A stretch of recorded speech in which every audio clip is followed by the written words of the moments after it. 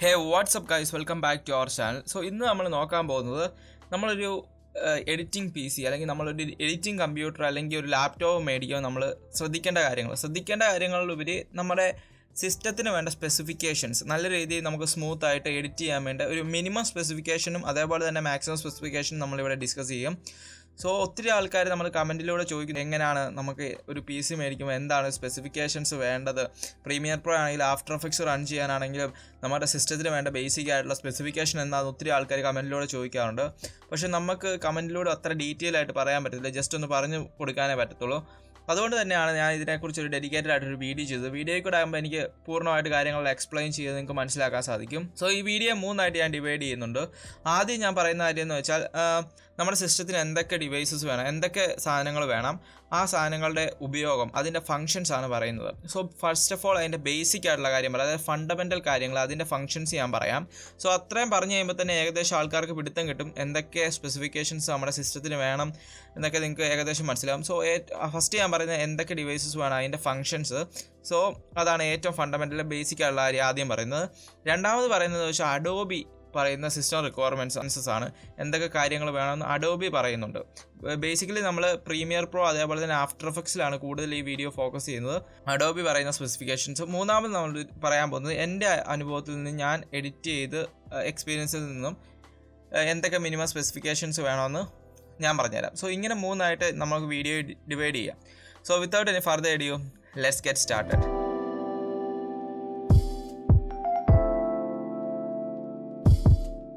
so first of all നമുക്കൊരു editing സിസ്റ്റത്തിന് അല്ലെങ്കിൽ ഒരു സിസ്റ്റത്തിന് വേണ്ട മെയിൻ ആയിട്ടുള്ള കാര്യങ്ങൾ first of all C P U നമ്മുടെ പ്രോസസ്സർ മെയിൻ സാധനം. പിന്നെ G P U graphic processing unit അതായത് ഗ്രാഫിക്സ് കാർഡ് മൂന്നാമത് റാം ഫോർത്ത് സംഭവം സ്റ്റോറേജ് ഡിവൈസ് ഞാൻ ഇപ്പം ഹാർഡ് ഡിസ്ക് ഹാർഡ് ഡിസ്ക് എടുത്തതേ ഉള്ളൂ. എസ് എസ് ടി യൂസ് ചെയ്യുന്നവർക്ക് എസ് എസ് ടി യൂസ് ചെയ്യുക അതിലോട്ട് ഞാൻ വരാം.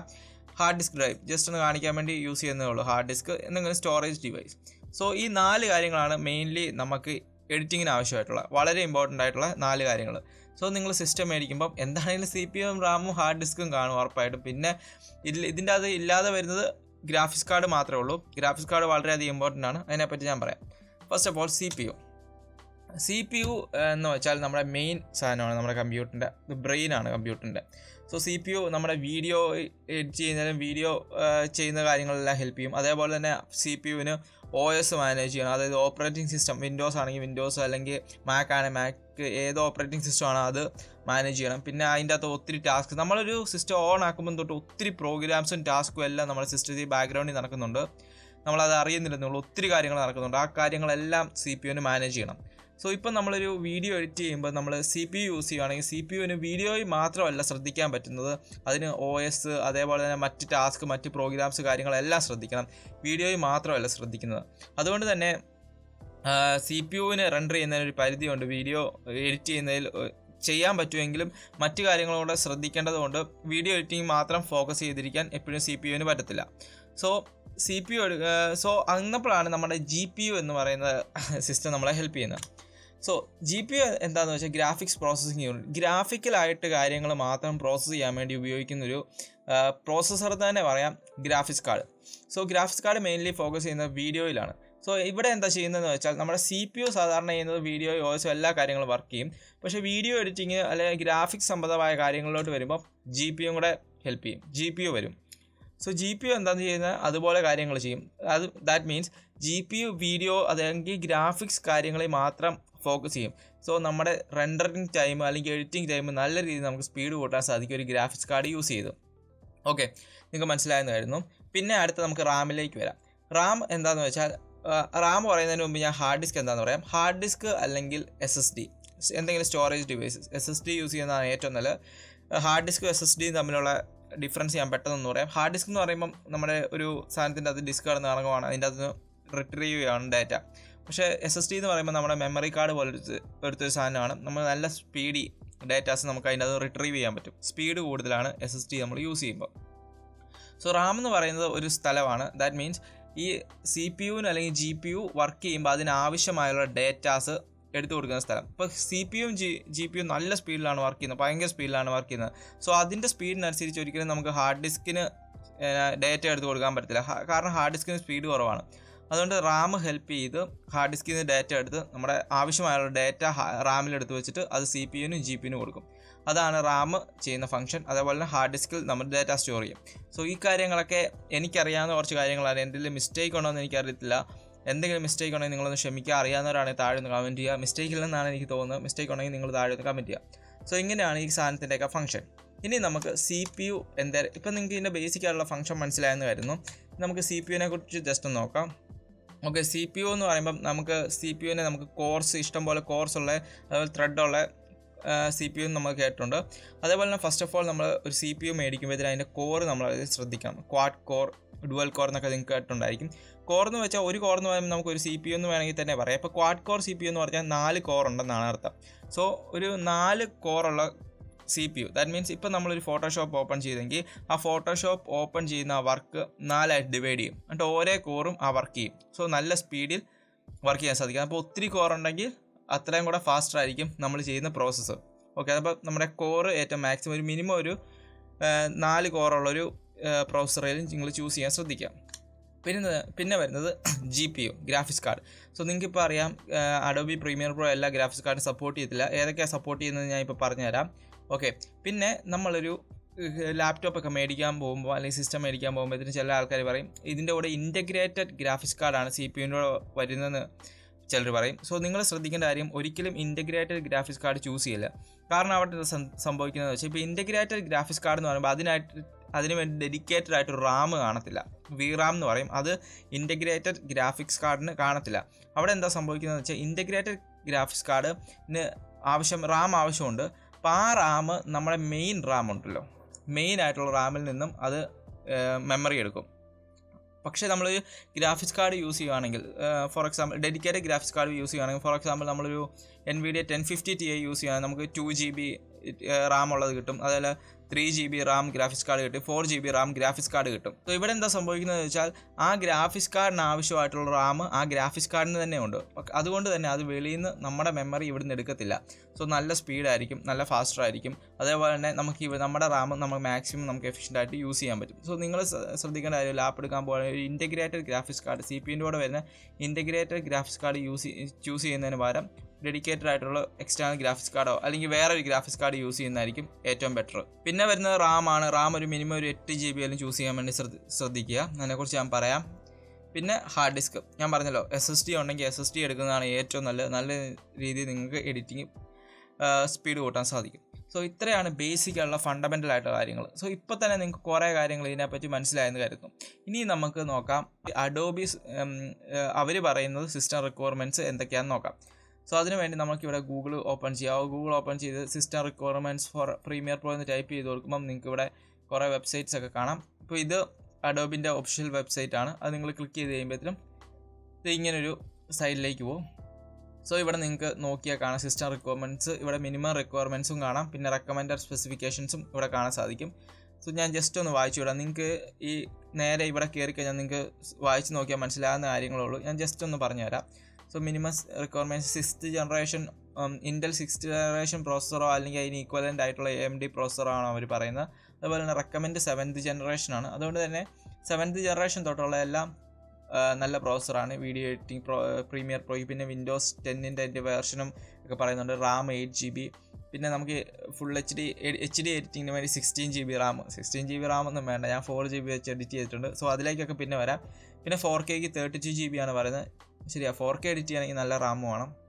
പിന്നെ ഇതുണ്ടോ വി റാം വീഡിയോ റാം. ഞാൻ കുറച്ച് മുമ്പ് പറഞ്ഞില്ല ജി പി യുടെ കാര്യം. മിനിമം ഒരു two G ബിയിലും G P U V RAM ഉള്ള ഗ്രാഫിക്സ് കാർഡ് നിങ്ങൾ ചൂസ് ചെയ്യുക. അല്ലെങ്കിൽ ഫോർ ജി ബി പിന്നെ ഞാൻ പറഞ്ഞല്ലോ പിന്നെ എസ് എസ് ടിയുടെ കാര്യമൊക്കെ ഇവിടെ പറയുന്നുണ്ട്. നിങ്ങൾക്ക് ഇത് വായിച്ച് നോക്കിയാൽ മനസ്സിലാകുന്നേ ഉള്ളൂ. പിന്നെ നമുക്ക് ഞാൻ നിങ്ങളോട് പറഞ്ഞ പോലെ തന്നെ ഇപ്പോൾ എല്ലാ ഗ്രാഫിക്സ് കാർഡും പിന്നെ ഇവിടെ മാക്കിന്റെ പറയുന്നുണ്ട് കേട്ടോ. കണ്ടോ മാക് ഓയസിന്റെ സ്പെസിഫിക്കേഷൻസ് എന്തൊക്കെയാണ് വേണ്ടതെന്നെല്ലാം പറയുന്നുണ്ട് മാക്കിന്റെ അപ്പോൾ നിങ്ങൾക്ക് ഇവിടെ നോക്കിയാൽ മനസ്സിലാവും. പിന്നെ വരെ ഞാൻ നിങ്ങളോട് പറഞ്ഞ എല്ലാ ഗ്രാഫിക്സ് കാർഡും ഇപ്പോൾ സപ്പോർട്ട് ചെയ്തില്ല. നിങ്ങൾ ഇങ്ങോട്ട് സ്ക്രോൾ ചെയ്ത് വരുമ്പോൾ recommended graphics cards for Adobe Premiere Pro എടുത്ത് നോക്കുവാണെങ്കിൽ ഇവിടെ കുറേ ഗ്രാഫിക്സ് കാർഡിന്റെ പേര് കൊടുത്തിരിക്കുന്നതാണ്. വിൻഡോസ് കൂട open Windows open C L എന്നൊക്കെ കൊടുത്തിരിക്കുന്നതാണ്. സോ ഇപ്പോൾ നിങ്ങളൊരു ന്യൂ പ്രോജക്റ്റ് സ്റ്റാർട്ട് ചെയ്യുവാണെങ്കിൽ ഞാൻ ഇപ്പോൾ നിങ്ങളെ കാണിച്ചു തരാം. സോ നിങ്ങൾ ഒരു ന്യൂ പ്രോജക്റ്റ് ഇവിടെ സ്റ്റാർട്ട് ചെയ്യുകയാണെങ്കിൽ നിങ്ങൾക്ക് video render and play back എന്ന് കൊടുത്തിരിക്കുന്നവർക്ക് റെൻഡർ എന്ന് കാണിച്ചു തരാം.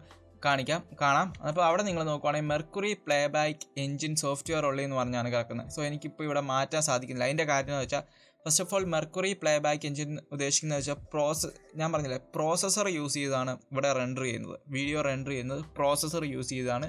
ഗ്രാഫിക്സ് കാർഡ് യൂസ് ചെയ്തല്ല എന്റെ സിസ്റ്റത്തിൽ അത് സപ്പോർട്ട് ചെയ്യത്തില്ല. സപ്പോർട്ട് ചെയ്യാത്തതിന്റെ കാരണം എന്ന് വെച്ചാൽ ഈ ഇവിടെ കൊടുത്തിരിക്കുന്ന ഇവിടെ കൊടുത്തിരിക്കുന്ന ഗ്രാഫിക്സ് കാർഡൊന്നും അല്ല ഞാൻ യൂസ് ചെയ്യുന്നത്. എന്റെ ഇരിക്കുന്ന N V D six ten T ആണ്. ഒരു two two thousand fifteen Premiere Pro ഒക്കെ നിങ്ങൾ യൂസ് ചെയ്യുകയാണെങ്കിൽ അറിയാം. അവിടെ നിങ്ങൾക്ക് ഇങ്ങനെ ഒരു സംഭവം ഇല്ല. നിങ്ങൾക്ക് ഏത് ഗ്രാഫിക്സ് കാർഡ് വേണമെങ്കിലും യൂസ് ചെയ്യാം. ടു തൗസൻഡ് ഫിഫ്റ്റീൻ വെർഷനൊക്കെ ഉപയോഗിക്കുകയാണെങ്കിൽ ടു തൗസൻഡ് സെവന്റീനും എയ്റ്റീൻ തൊട്ടൊക്കെ ചില ഗ്രാഫിക്സ് കാർഡ് മാത്രമേ സപ്പോർട്ട് ചെയ്യത്തുള്ളൂ.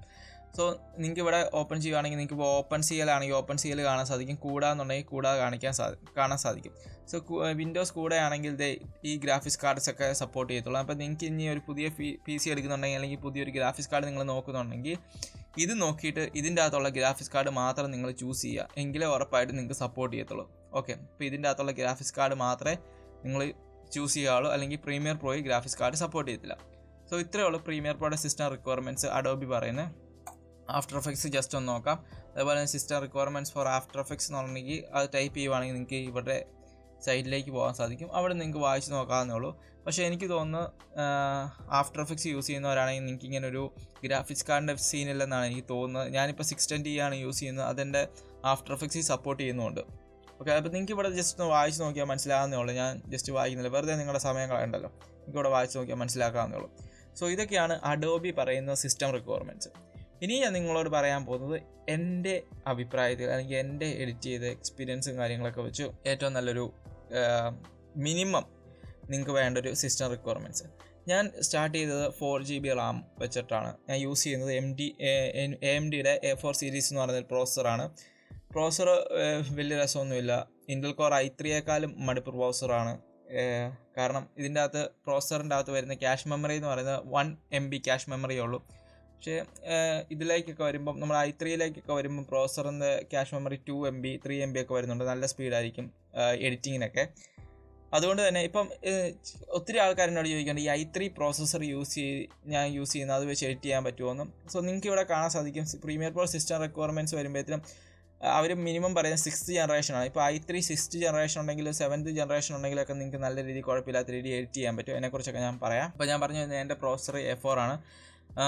സോ അത് സത്യം പറഞ്ഞാൽ ഒരു ഗ്രാഫിക്കൽ അല്ലെങ്കിൽ ഒരു ഗെയിം കളിക്കാൻ വേണ്ടി അല്ലെങ്കിൽ എഡിറ്റ് ചെയ്യാൻ രീതിയിലുള്ള ഒരു പ്രോസസ്സറല്ല ഒരു പ്രോഗ്രാം ചെയ് ചെയ്യുന്ന ആൾക്കാർ അല്ലെങ്കിൽ ടാലി അതുപോലുള്ള സിമ്പിൾ കാര്യങ്ങൾ ചെയ്യുന്നവർക്കൊക്കെയാണ് ഇതുപോലത്തെ പ്രോസർ പക്ഷേ ഞാൻ ഇത് വെച്ചാണ് എഡിറ്റ് ചെയ്യുന്നത്. പിന്നെ റാം ഞാൻ ഫോർ ജി ബി ആണ് ചെയ്തുകൊണ്ടിരുന്നത്. ഒരു ഈ ഇടയ്ക്ക് ഒരു രണ്ട് മാസം മുമ്പാണ് ഒരു എയ്റ്റ് ജി ബി റാം കൂടെ ഞാൻ മേടിച്ചിട്ടുള്ളത്. സോ അത് ഡി ഡി ആർ ത്രീ ആണ്. So D D R four ആണ് നിങ്ങൾ യൂസ് ചെയ്യുന്നതെങ്കിൽ കുറച്ചുകൂടെ സ്പീഡ് കൂടുതലും ഡി ഡി ആർ ത്രീയേക്കാളും കുറച്ച് സ്പീഡ് കൂടുതലായിരിക്കും ഡി ഡി ആർ ഫോറിന് ഇപ്പോൾ ഡി ഡി ആർ ഫൈവ് ഒക്കെ ആയി വരുന്നുണ്ട്. സോ അതും കൂടെ നിങ്ങൾ ശ്രദ്ധിക്കണം. ഇനി നിങ്ങളൊരു ലാപ്ടോപ്പ് പുതിയ സിസ്റ്റം എടുക്കാൻ പോവുകയാണെങ്കിൽ ഏറ്റവും പുത്തൻ ഒരു ഡി ഡി ആർ എല്ലോ എടുക്കാൻ വേണ്ടി നിങ്ങൾ ശ്രദ്ധിക്കുക. ഓക്കെ അപ്പോൾ ഇതിന് അതാണ് എന്റെ പ്രോസർ പിന്നെ graphics card six ten D ആണ്. അത് പ്രീമിയർ പ്രോയിൽ സപ്പോർട്ട് ചെയ്യത്തില്ല സോ ഞാൻ നിങ്ങളോട് പറയുന്ന ഒരു മിനിമം നിങ്ങൾക്ക് ഒരു എയ്റ്റ് ജി ബി റാമും ഒരു ഐ ത്രീ എയ്ത്ത് ജൻ ജനറേഷനോ സെവൻത്ത് ജനറേഷനോ പ്രോസർ ഉണ്ടെങ്കിൽ നിങ്ങൾക്ക് വലിയ കുഴപ്പമില്ലാതെ എന്ന് വെച്ചാൽ ഒത്തിരി എഫക്ട്സ് ഒന്നും അല്ല ഞാൻ ഉദ്ദേശിച്ചത്? അങ്ങനെ വെച്ച് ഒത്തിരി എഫക്ട്സ് വെച്ച് നിങ്ങൾക്ക് എഡിറ്റ് ചെയ്യാം. അതിനുവേണ്ടി ഞാൻ കുറേ വീഡിയോസ് ചെയ്തിട്ടുണ്ട്. എങ്ങനെ പ്രീമിയർ പ്രോ നല്ല സ്മൂത്ത് ആയിട്ട് നിങ്ങളുടെ സിസ്റ്റത്തിൽ റൺ ചെയ്യുക എന്നുള്ള വീഡിയോ ഞാൻ കുറേ ചെയ്തിട്ടുണ്ട്. നിങ്ങൾ നമ്മുടെ ചാനലിൽ ചെന്ന് നോക്കുകയാണെങ്കിൽ നിങ്ങൾക്ക് കാണാൻ സാധിക്കും. അല്ലെങ്കിൽ ഞാൻ എന്റെ സ്ക്രീനിൽ കൊടുക്കാൻ പറ്റുമെന്ന് നോക്കാം. പിന്നെ പ്രോക്സി എഡിറ്റിങ് അതാണ് ഏറ്റവും ബെസ്റ്റ് വേ ഏറ്റവും ബെസ്റ്റ് വേ നിങ്ങൾക്ക് ഫോർ കെ വീഡിയോസ് വരെ നിങ്ങൾക്ക് പ്രോക്സി എഡിറ്റിംഗ് യൂസ് ചെയ്ത് എഡിറ്റ് ചെയ്യാം. അതിനെക്കുറിച്ചുള്ള വീഡിയോ ഞാൻ ചെയ്തിട്ടുണ്ട്. നിങ്ങൾ ചാനലിൽ ചെന്ന് നോക്കി അറിയാം. പ്രോക്സി എഡിറ്റിങ്ങിനെ പറ്റി. സോ അതൊക്കെ നിങ്ങൾ കുറച്ച് കാര്യങ്ങളൊക്കെ ശ്രദ്ധിക്കുകയാണെങ്കിൽ നിങ്ങൾക്ക് വലിയ കുഴപ്പമില്ലാതെ എഡിറ്റിംഗ് ഒക്കെ ചെയ്യാൻ പറ്റും. പിന്നെ ഞാൻ മിനിമം പറയുന്നത് നിങ്ങൾക്ക് ഫോർ ജി ബി റാമേ ഉള്ളെങ്കിലും നിങ്ങൾക്ക് ബേസിക് ആയിട്ടുള്ള എഡിറ്റിങ്ങും കാര്യങ്ങളൊക്കെ സിമ്പിളായിട്ട് ചെയ്യാൻ പറ്റും. കാരണം ഞാൻ ചെയ്തിട്ടുള്ളതാണ്. അതുകൊണ്ടാണ് ഞാൻ പറയുന്നത്. ഞാൻ ചുമ്മാ പറയുമല്ല ഞാൻ ഒരിടയ്ക്ക് അങ്ങനെയാണ് ചെയ്തുകൊണ്ടിരുന്നത്. ഞാൻ കുറേ വീഡിയോസൊക്കെ അങ്ങനെ എഡിറ്റ് ചെയ്തിട്ടുള്ളതാണ്.